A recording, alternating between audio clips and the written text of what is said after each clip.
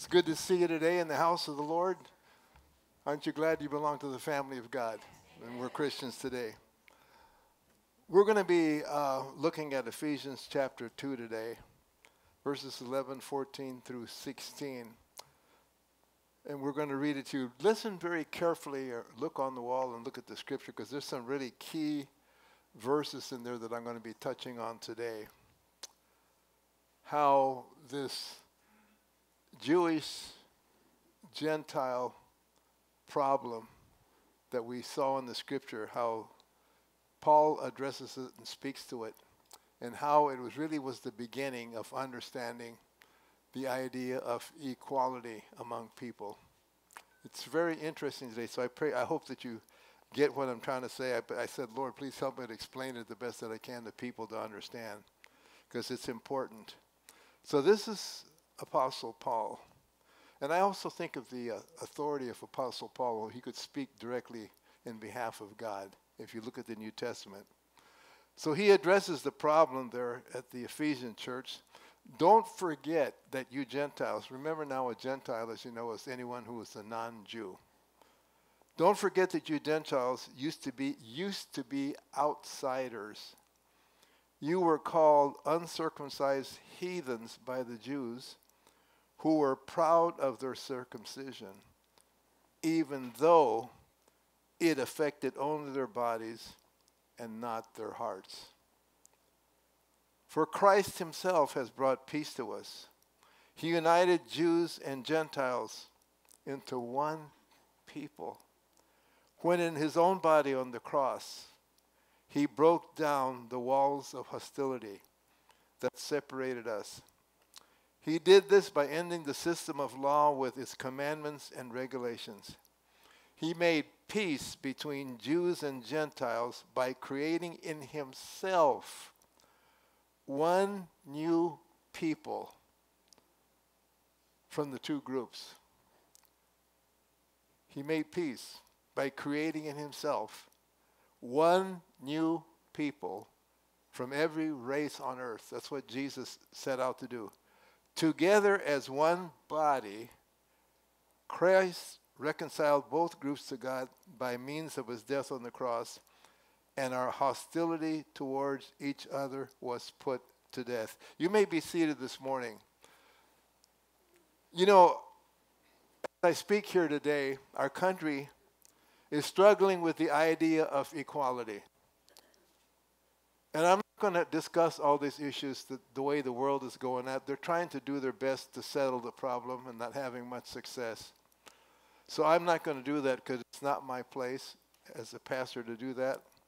And not only that, those of you that are here today are very well aware of the stuff that's going on. We see it every day on the media where there's this struggling, struggle going on for equality in our country.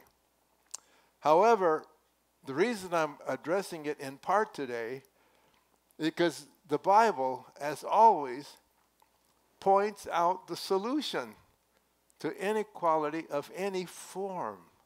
And I think that we Christians need to be reminded of this that our wonderful scripture, the wonderful words of life, Christ, God has covered every problem you'd ever want to face in this life.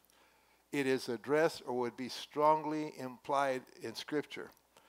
But as the, the country is struggling with this idea of equality, I want to remind the church that Christ, through the cross, through Christianity, changed things that, so that all men would become one in Him. But what I'm sharing this morning, does not just have only to do with the racial disparity that happens in some corners, but other areas of concern in our nation, you're going to be surprised. Some of you might have known this already. It'll be a, a, a review. Others, it might be new to you today. But my very thought today is at the very least, there will be a greater appreciation for the Bible that we teach and preach from in the Church of Jesus Christ. How much wisdom is in His Word. But as we look at the problem eh, with the situation between the Jews and the Gentiles, the Jewish problem was they eventually got to the place where they thought, as the chosen people by God, that they were the only ones that had a corner on God. That's where the problem became. And so we're going to look at that today. And I don't want to pick on the Jewish people today. There's so much anti Semitism going on. But this is how the Bible addresses it. And I hope that we're going to see some thoughts come up into our minds, Lord, to fix what's going on. The world is struggling to settle these areas of inequality.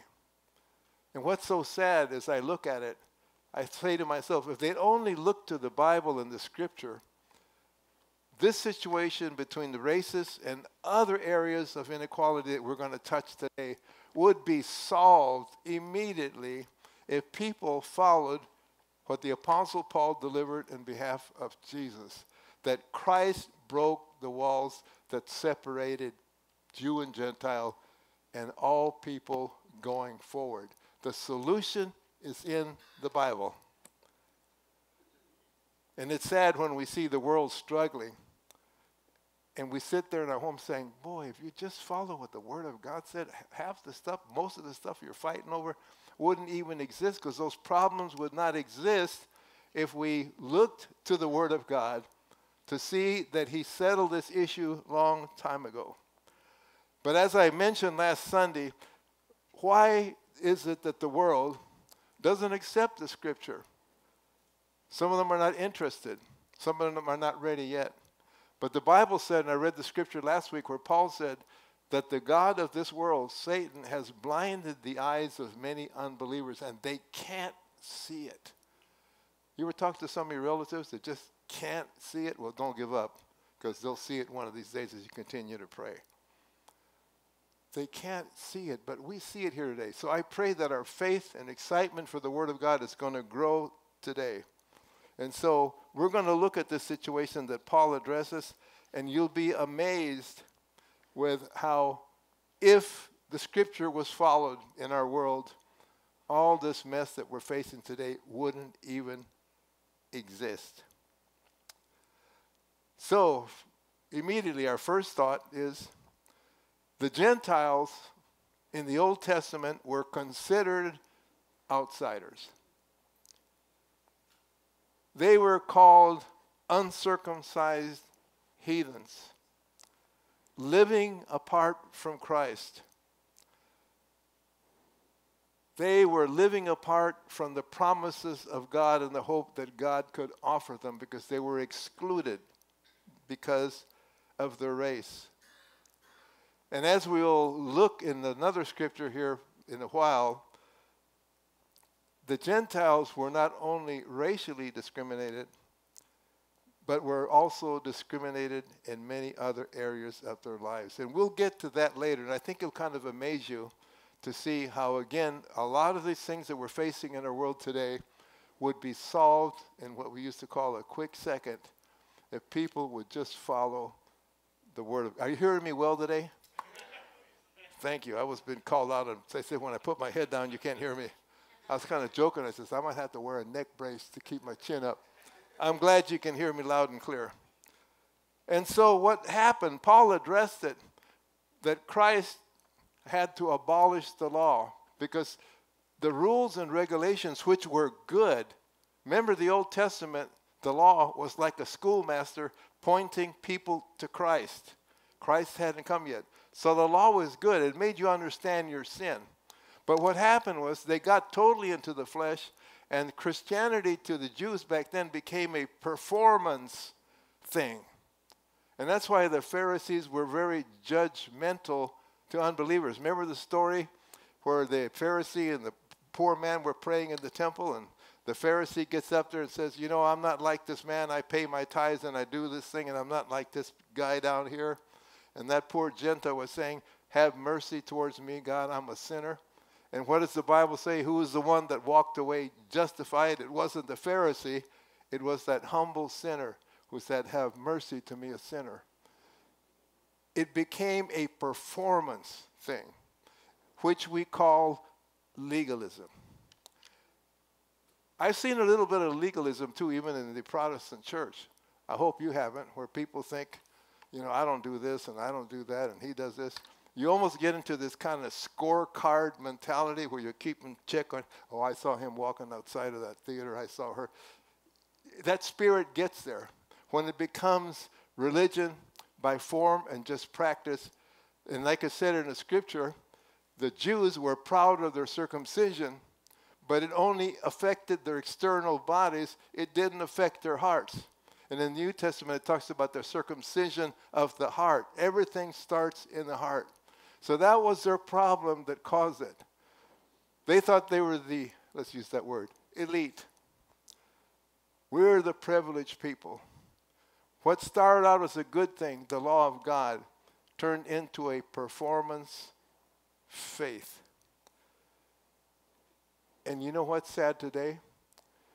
There are many people who call themselves Christians that are going to even evangelical church who have what we call religion without relationship. Outward circumcision, but not from the heart. And we want to make sure that doesn't happen to us because it's not only the Jews that were capable of going off key. Many within the body of Christ can do the same thing if we're not careful. It's not about performance. All have sinned we all come short of God's glory. And that's the way it is. So it wasn't from the heart.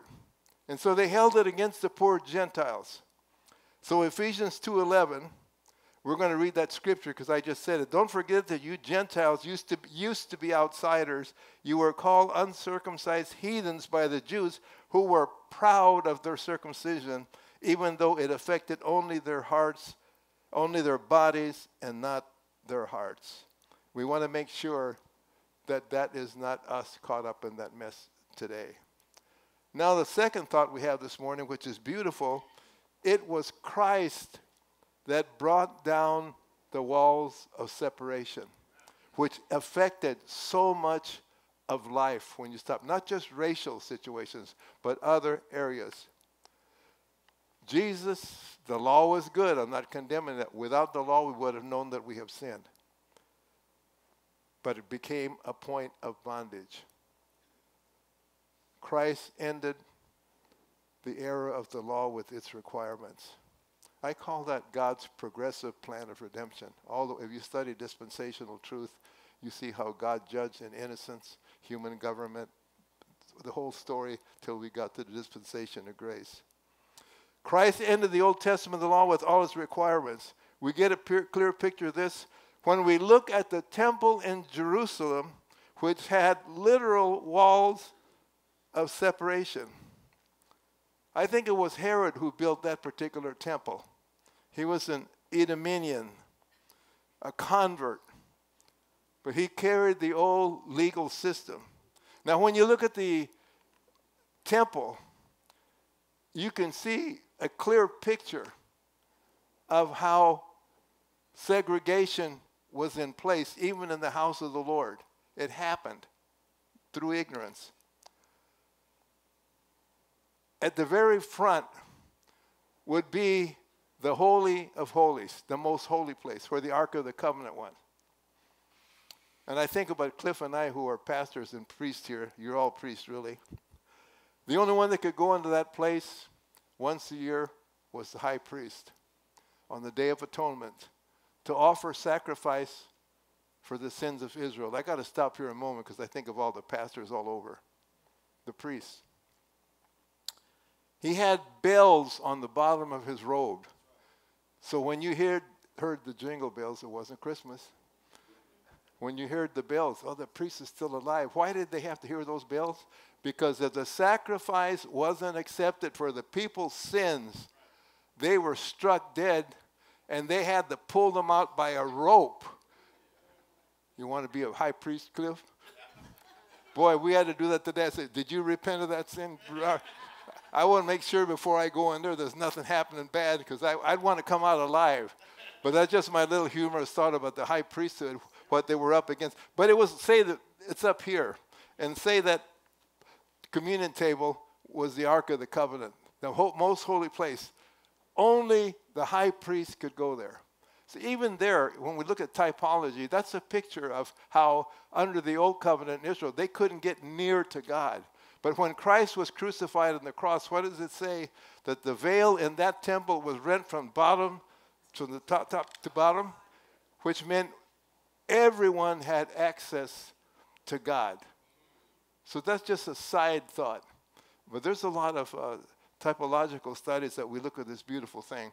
And I even thought about that dead priest with the rope. Christ had to die for our sins. So there's typology there. There's, there's lessons you can learn in the Old Testament that come to pass in the New Testament. It's a beautiful study. The holiest of holies. So we can understand that. That's where God's presence is. Then came the court of the priests, the sick, maybe to be right here. And then for all you macho men, we'd be next. We'd be there with our cocky machismo sitting there, oh, my man, right there in our little court. Because behind us were those lowly women. They were the ones that were behind the men. And at the very back of the church where the sound system were the Gentiles. You see that picture? That was in the house of worship. You, are you getting a picture how people were far from God and how all that division came and uh, some of the practices that we got into today that got into this mess was even pictured in that temple. That's why we, I hope doesn't get too deep here this morning, are called the temple of God, the habitation of the Lord. So that's what it was. And in the court of the Gentiles, they say that there were signs posted that warned the Gentiles in the back of the church there by Jim don't you dare try to move up to the more important class of people, because if you try to come up there, you would be killed. So, do you get the picture today? This, this was just a picture of the temple that existed. It already segregated people into different classes. When I think of the poor women that were behind the men, I think of people, of teachers have said it for years. The person in history that raised up the level of women was Jesus Christ. He was the one that brought us up before. Women were viewed as inferior to men. The Gentiles, way in the back where Jim's at, and he's not one of those, by the way. He's part of the fellowship were the lowly Gentiles. And this is who Paul was speaking to in this passage. You were, you, before you were called outcasts, you were called foreigners, you were not part of the family of God, but now God has drawn you near. And I have a scripture coming up that's been around forever and a day. How in one broad stroke, Paul reveals this huge truth in Galatians 3:28 NLT. Look at that and see what it says. And it's going to cover a whole lot of people, a whole lot of things we're dealing with today. And if the world would just follow this, we wouldn't be in this mess. There is no longer Jew or Gentile, slave or free, male or female. You are all one in Christ Jesus. What we're really talking about here when Christ came with us, it was like a, a new humanity, the new way to do business in the economy of God. There is no longer Jew or Gentile, slave or free, male or female. Are we having problem with those areas today? Racially, Jew or Gentile, slave or free, status, who you are, elite, outcast, other names that are being bandied about, male or female, women fighting for their position, men trying to hold them back, they say. All these things Jesus dispensed with. This is really powerful. No longer Jew or Gentile, one race in Christ, the human race. So when you see me as a dark skinned brown man, That's just my color. But we're all part of one race. Can I hear an amen for that in this church? So they talk about identity politics and all that stuff. But I want to tell you today when we see one another, we are all part of the family of God. I don't care what color we are. We should actually be color blind. We are one people in Jesus. And that's what he taught in his word. There's no longer Jew or Gentile. You are all one in Christ. No longer slave or free. I've got money, you have none. I have status, you have none. Class distinctions that the world puts, different areas of rank and superiority. Jesus blew, Jesus blew that all away. I don't see none of that. You're all my family if you're saved. You were all created by me. So this class distinction should not separate us as people because in God's eyes, He doesn't care if you're a poor man or a rich man. You're part of His family. And we should follow His lead. Neither male or female. We're all equal in Him. I've taught you before about, you know, why you should submit and all. We, Cliff has taught us that too. I taught you that was not just a hierarchy or the man has to be the boss. There's different roles that we have. The husband has a role to provide for everything that goes on. The wife is there to help him and assist him. But I, I tell you very honestly, in my own family, there's a lot of times my wife is smarter than me, has a better idea, and I'm smart enough to back off and say, Take over, Susan. I'll, I'll have us in a mess here if I don't listen to you. She's a helpmate. And that's how we look at these relationships. Yes, the man is supposed to lead, but remember that's a role that God has given you. And when you accept that role, though, this is a different sermon now, Cliff. when you accept that role, realize you're responsible for everything right. in that house. So things go haywire, wives. Look at old Horace and say, Well, you're the boss. we lost the house and the car because of you. I just submitted to you to be your helper little humor once in a while. One race. Can we get it into our spirits? One people, regardless if we're a lawyer or a blue collar worker or whatever, we're one in Jesus. Neither male nor female. Equality. And can we see this today? This is what the Paul delivered to the church which would solve the problems of our country if we would just follow this word. We are all one in Christ. Can you imagine what would come into our country and our world if we put this into action? It, we would solve it quick. It would be over because these problems would not exist if people followed the Bible. So when you have your Bible, I'm, part of my sermon today is to make you treasure that Word of God that you have, the Scripture that you have, because that's where life is. And so we're talking about the discrimination that happens. We're talking about how the Lord blew it all away. And so, in light of what the world is going through right now and what they're facing and struggling with, what should be the response of the church? What can we, the church, do to fix this? My answer is the third point let the church be the church. I was talking to Dave yesterday. I don't know if he remembers. I had a good time talking to him, by the way. And I was telling him one of my thoughts tomorrow is going to be let the church be the church. You know, about five years ago, and I don't mean to judge, I heard about a major evangelical Christian community that when all this racist stuff started about five years ago, they were sending manuals to all their local churches how to deal with race relationships. And I said to myself, I thought that was Christianity 101. Why did I have to have a manual? this scripture, I'm sharing it with you today straight from the Word of God. We're all one. We respect us all as one. We're all even in the eyes of Christ. Why would we have to have a manual? Which makes me think maybe we've got some work to do in parts of the body of Christ. Maybe we need to clean up our acts. to really show Jesus to the world. I have a lot of this thing with the world be. You know, Acts 1 8.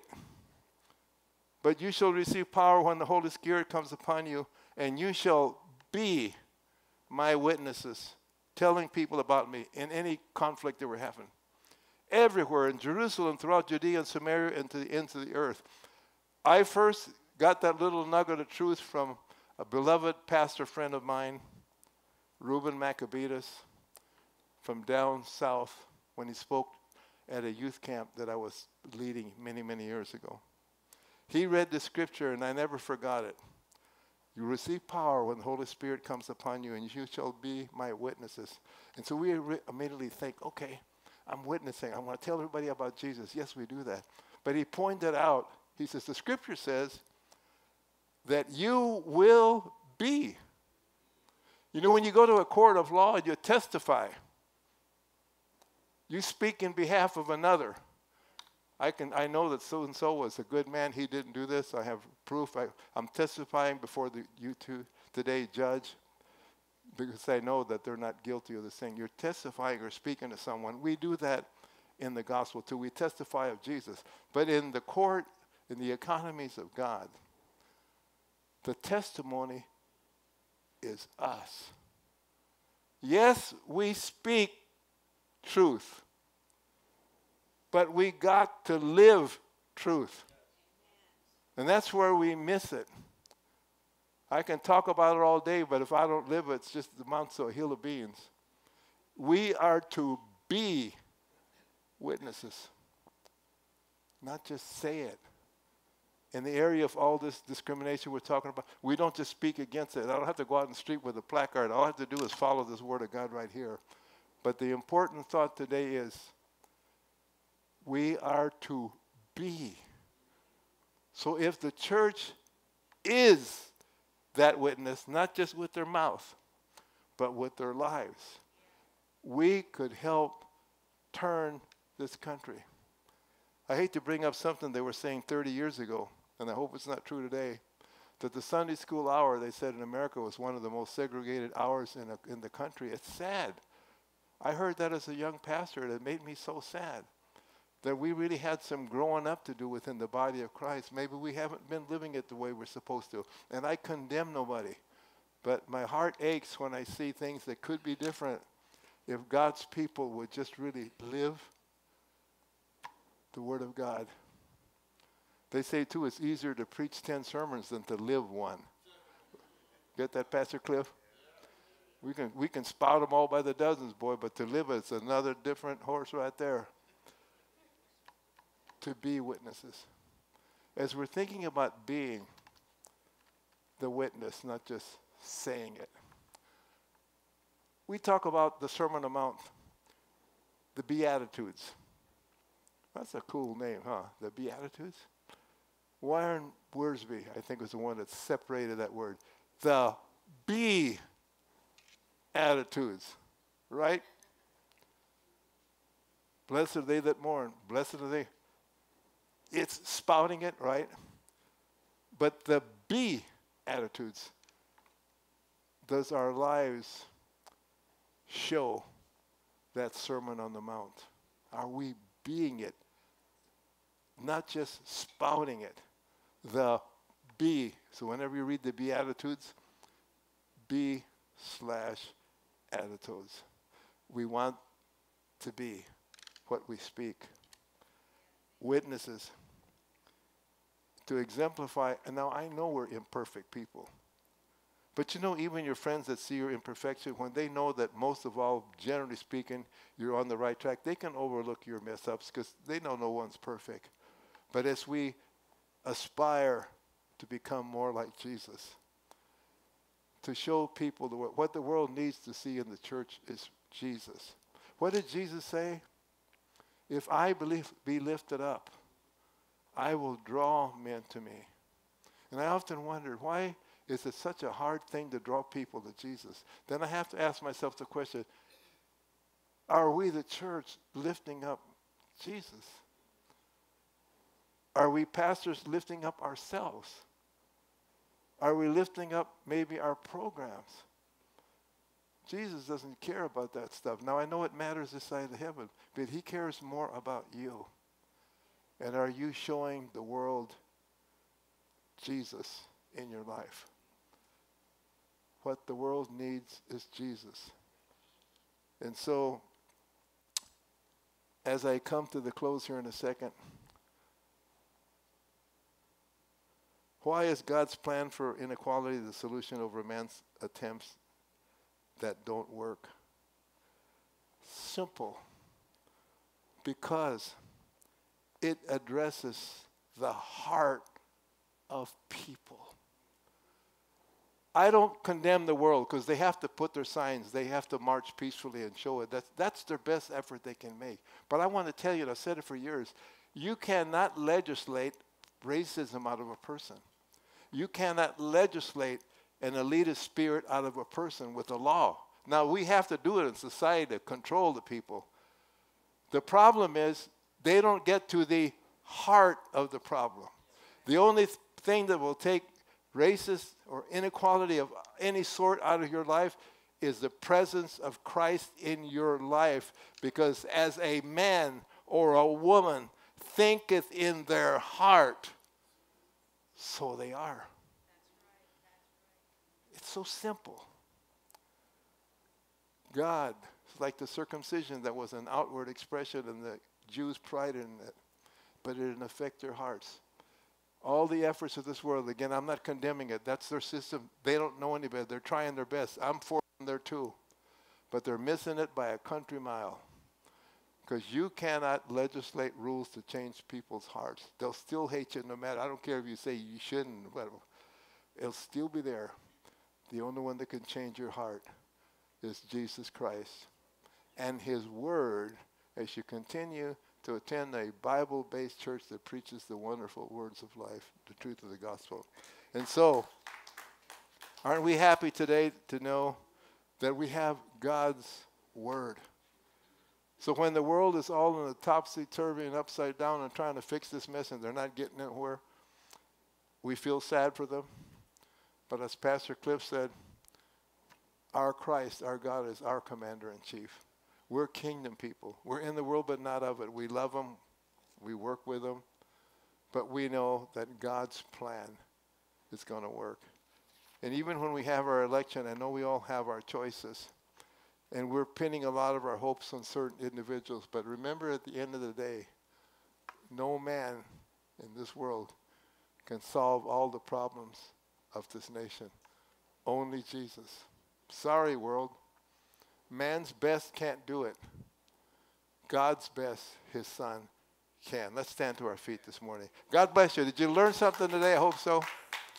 I prayed over the sermon. I says, I hope it'll at least make people love the Word of God. And I know it's kind of review to some of you or reminder. Maybe it was new to some of you. But you can walk out here today and say, you know, we're on the right path. We haven't filled this church yet, but that's no problem. Jesus said, narrow is the way anyway. But we are in the way of life, the way of truth, and we have Jesus Christ. And so, as we looked at our lesson today, we saw three things. The Gentiles in the Old Testament were considered outsiders.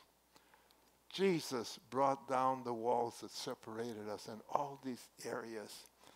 And my final thought to me is this for you.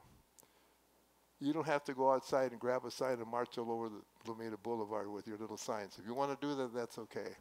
But I say, let the church be the church.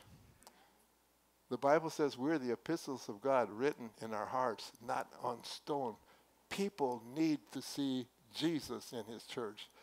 That's what will change our world. So, Father, we come to you this morning. We thank you, Lord.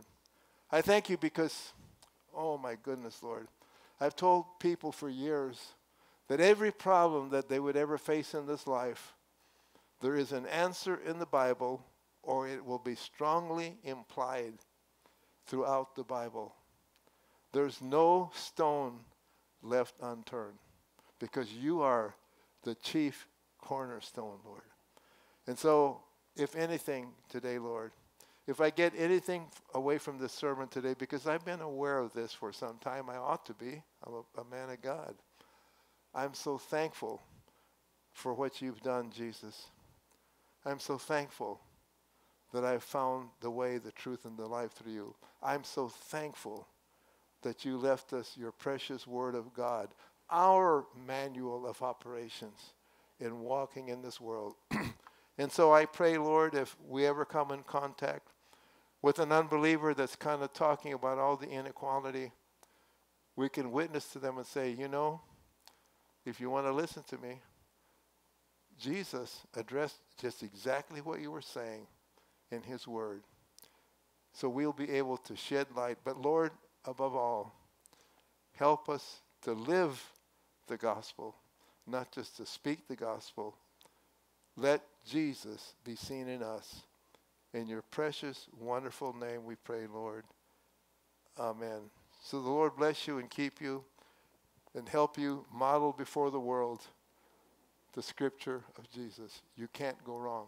He is the way, He is the truth, He is the life. God bless you today. Give the Lord a hand of offering. It's good. Amen.